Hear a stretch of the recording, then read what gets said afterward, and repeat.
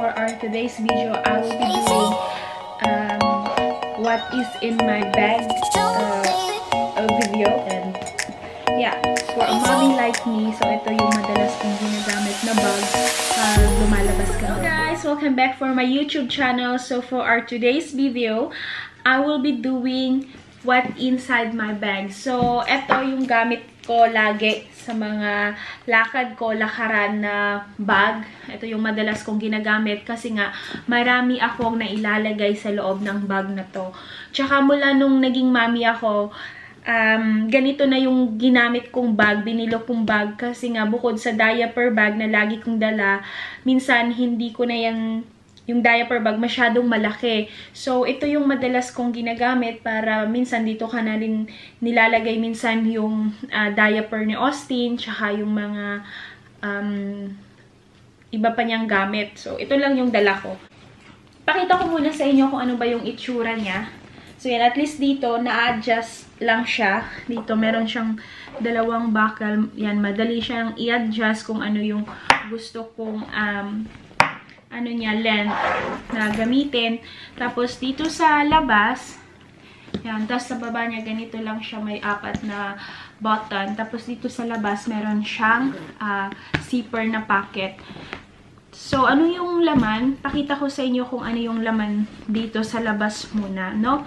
So, ito lang naman. Yan, ito, towel, wet towel. Tapos, ito din, tissue. Tapos, nandito yung aking um, headset. Ito din yan nakalagay. Tapos, yan, siya, mga tissue din from Burger King. So, yan. So, yan lang yung laman dito at ganito yung itsura niya. Yan. So, yung kanyang lining ay tela. Tela dito. Tapos, yung kanyang hardware dito na zipper is gold. Yan. So, ito siya. Tapos, dito naman sa pinaka-big pocket niya dito sa loob compartment. Ganito yung zipper naman niya. So, bumili lang ako ng uh, chain para lang pang design. Pero, tapos ito, pero nung binili ko tong bag, meron na siyang kasamang ganito. Yan, ito na yung kasama niyang uh, bitin. Yan, hindi ko na siya inalis. Yan, ito. Tapos, dito lang yan sa loob. Bali sa loob, ganito yung itsura niya. Yan. Malaki talaga siya. Marami akong nailalaman. So, ganito siya. Dito sa loob niya, so, ganitong itsura niya. Meron ditong packet. Dito, meron dyan. Meron dito. Dito, meron akong packet dito. Meron, tapos meron akong mga uh, dito na lahat yung mga gamit ko, wallet, tapos merong isang zipper na maliit dito sa likod. Ayan. So. Ipakita ko sa inyo isa-isa kung ano yung laman. So, ganyan yung itsura niya sa loob. Yan. So, umpisahan ko kung eto.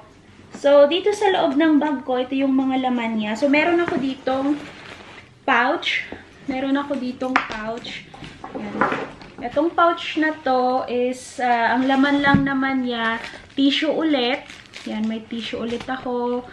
Actually, maraming tissue kasi nga, minsan hindi ko alam kung saan, ko, saan ako kukuha ng tissue, especially kung kailangan ko. Si Austin, kailangan din niya. So, kahit sa bulsa ng bag ko, meron akong pwedeng pagkuhanan. Hindi ito nawawala sa bag ko. So, yan. May tissue. Tissue.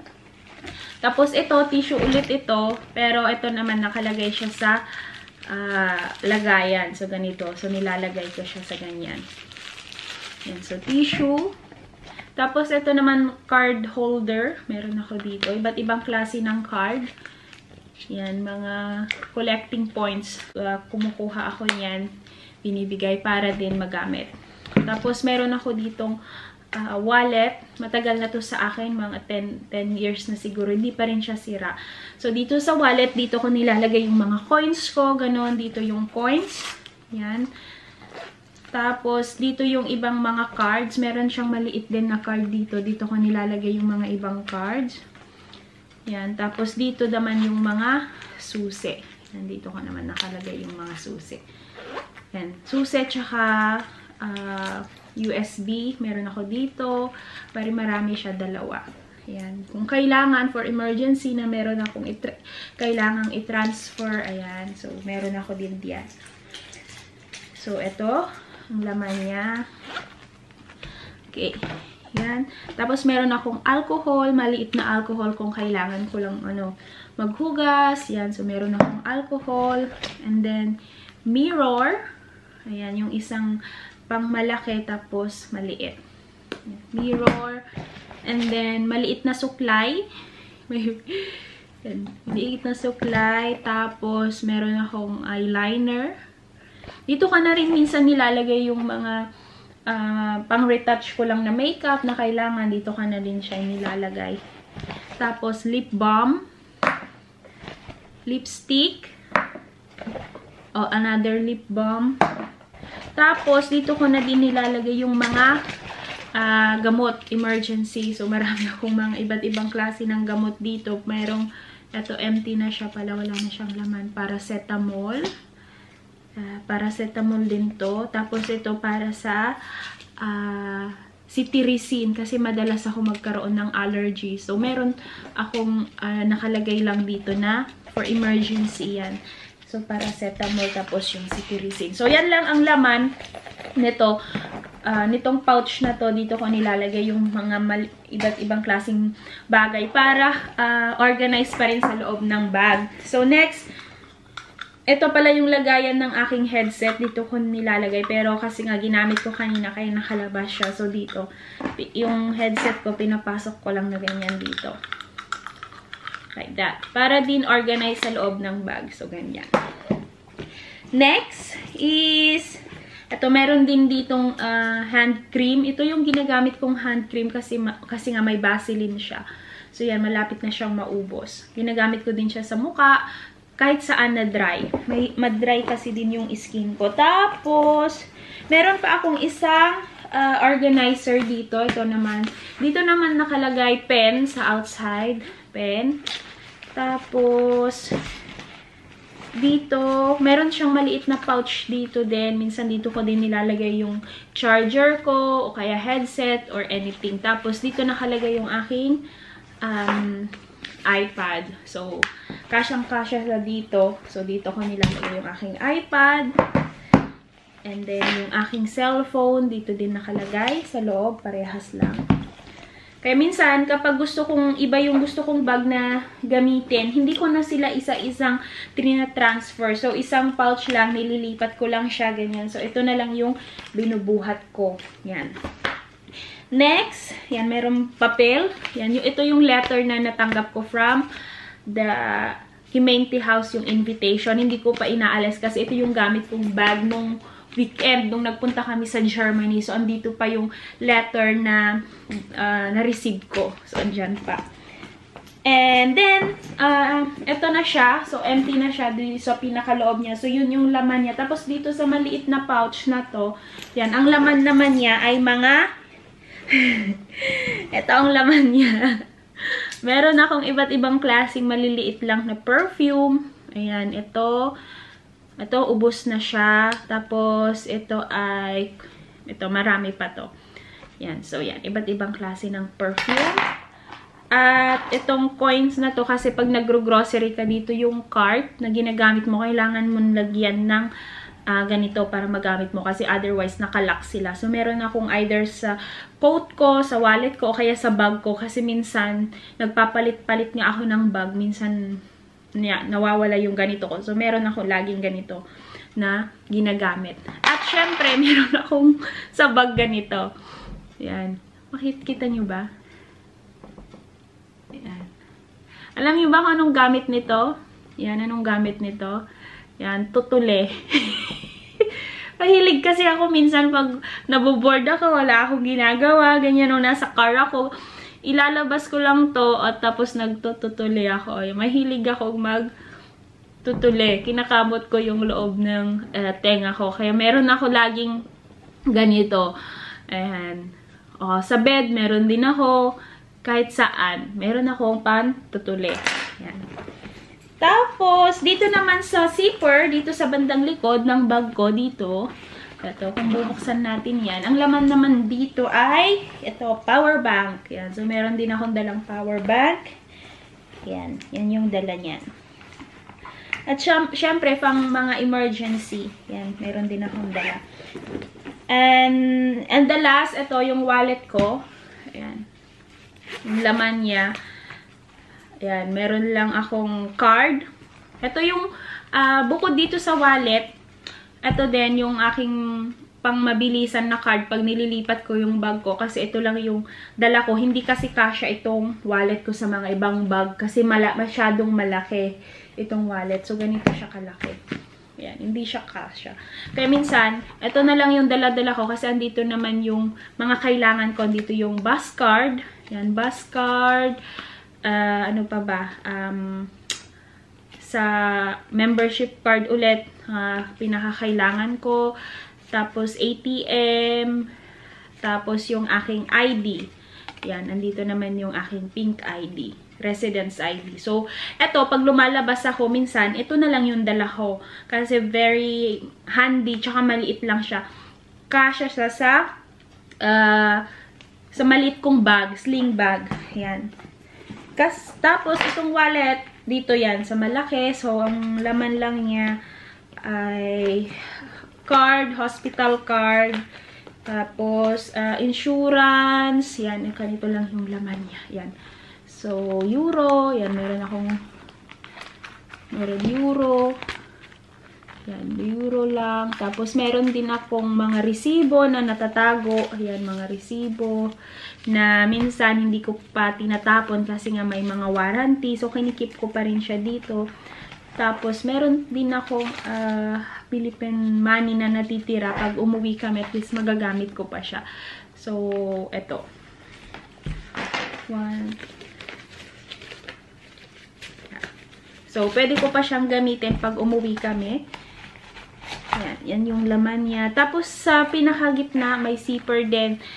Uh, hindi ko siya madala, may, hindi ko siya nilalagyan ng coins kasi nga nakakasira siya sa wallet. Kaya meron akong separate na maliit na uh, pitaka para paglagyan ng aking mga coins. Yan, tapos ito, euro. So yan, yan yung laman dito sa wallet ko. So, ito lang siya. Bagaan siya. Pag walang laman, hindi puno. Napakagaan lang niya. Kaya ako siya nagustuhan. Tsaka maganda yung ano niya, yung labas niya, hindi siya masyadong malaki, hindi din siya masyadong maliit. Tapos, hindi siya yung parang rugged tignan. Kaya, okay pa rin siya. Kaya, nagustuhan ko siya nung binili ko. Ayan. Eto, may, meron siyang maliit na uh, sling bag na kasama nung binili ko. Bali, nag-sale siya. Um, buy one, take one siya. Otherwise, kung hindi siya buy one, take one, medyo pricey din itong bag na to. Kaya, kaya nung nakita ko na um, nag-sale sila, kaya binili ko na. Ipakita ko sa inyo yung uh, sling bag niya, kung ano yung itsura. Maganda din siya. So, pag suot ko siya, ito, yan. diba? Cute pa din siya. Kahit naka-backpack ka, naka-ganyan ka, cute pa din siya. Tapos may gani-ganito pa siya. Yan. Tapos dito, madali lang siyang i-adjust dito. I-adjust mo lang siya dyan, dito. Yan. Okay.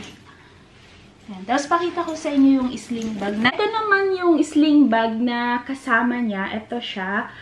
Yan. Ganyan. Meron, meron din siyang uh, palawet na kasama. Andito na din siya. Yan. Hindi ko siya hindi ko siya ginagamit ngayon kasi nga ang madalas kong ginagamit ay itong bag na to. Pero pag summer ganun, may lakad na konti lang yung dala ko. So ginagamit ko to. So ito nilalagyan ko siya ng uh, papel sa loob para nag-maintain pa rin yung shape niya kahit naka-store siya. Tapos meron siyang ganito. Yan. So, ganyan siya. Yan. Yan. Ganito yung loob niya. Yung loob. Tapos, meron pa rin siyang maliit na zipper dito. Yan. Marami din naman siyang nailalaman kahit maliit lang siya. Yan. Meron siyang maliit na zipper dito. Tapos, ganito yung loob niya. So, kasha dito yung phone. Kasha yung phone. Kasha yung aking coin first kasya dito yung aking alcohol, headset, tapos itong wallet hindi. Kasi nga masyadong masikip na siya. Kung makikita nyo, ayan o, oh, hindi siya magkasya. Yan. Kung isisiksik ko, pipilitin ko, magkakasya siya. Pero, syempre, mahirap siyang hugutin every time na mamimili ka. Magbubukas ka ng wallet mo. Kaya, hindi ko talaga ito nilalagay dito sa bag na to. Sa doon lang. Kasi masyadong malaki. Kaya, ang gamit ko, ito, kinukuha ko lang yung card na yun lang naman yung kailangan ko, identification card. So, yan, pinapasok ko lang dito. Tapos, yun, tissue, hand cream, yun. Hindi ko pa ito sinusubukan kung kasya yung iPad. Kasi minsan, ginagamit ko din to pag sa labas. Pero, yeah, kasya naman siya. Pero, uh, hindi ko siya ginagamit pang, pang dito. So, ito yung gamit ko. Ang kagandahan nito, meron siyang na-adjust. Kasi nga minsan, uh, gusto ko ng mahaba o maigsi. Tignan nyo. Yan, na-adjust naman siya dito. Oh. Mayroon siyang mga butas na pwede i-adjust para pahabain o paikliin. Pero yung length niya, tamang-tama lang sa akin. Kasi pag kukuha ako ng kailangan ko dito, yan, yan yung length niya. Tamang-tama lang.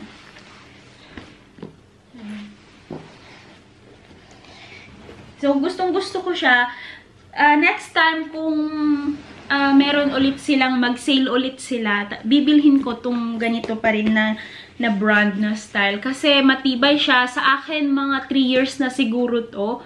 Tapos, ang dami-dami kong mga nilalagay. Hindi siya maselan. Minsan, sa baba ko lang siya nilalapag, ganyan.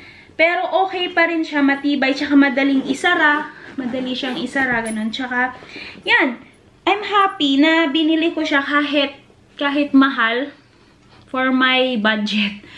Yan, okay pa rin siya. Kasi nga hanggang ngayon, o oh, 3 years na, o oh, tipid na din, okay na din. At at least uh, hindi na ako kailangan bumili. Tsaka dalawa na sila agad buy one take one. Kaya nakita ko, uy, meron kang kung gusto mong maliit, pang palit, meron kang maliit. Tapos kung feel mo mag backpack, okay pa din. Kasi marami din ako nalalagay. Minsan, sabi ko nga, 'di ba, ano, um kung ayaw kong maglagay ng uh, magbitbit ng diaper bag ni Austin na malaki kasi mayroon akong separate na diaper bag. Nagiging diaper bag ko na din siya. Ito na din yung gamit ko. So naglalagay lang ako sa bag ko ng few items for Austin. So ito na yung gamit ko. So yeah, that is it. Kung ano yung laman ng bag ko, madalas nyo din siyang makita sa mga previous na video ko o vlog na ito lagi yung nakikita yung gamit ko. Kaya yung sling bag kasi as a mommy, very ano na siya, convenient, handy na yung kamay mo free na magkikikilos, ha, yeah, mag-carry kay Austin. Yan, kaya hindi na ako madalas nagsho-shoulder bag or handbag kasi hassle siya. Lalo na ngayon naka-winter jacket alam mo yon napakalaki mo, ang hirap mo. At least kapag ito, sa likod mo lang siya ilagay, o kaya ito, sa shoulder mo, yung kamay mo free. So, more on that side na ako practical. Hindi na ako sa mga handbag. Though may mga handbag ako, pero hindi ko na siya madalas ginagamit. Lalo na kung mga pasyalan, ganun, yung mga pinupuntahan namin o lakaran. Kasi, ito yung uh, madalas kong gamitin o kaya yung mga ganitong style, yung mga ganito kasi mas mas ano convenient sa akin na may anak. Yan, nasubukan ko na. So yan, that is it. Kung ano yung laman ng bag ko, hindi naman ganun uh, karami or what. Pero yan, salamat sa panunood ng video na ito at na-share ko sa inyo. So yeah, that is it. And I hope you enjoy watching this video. Until next time, and thank you for watching. Bye-bye!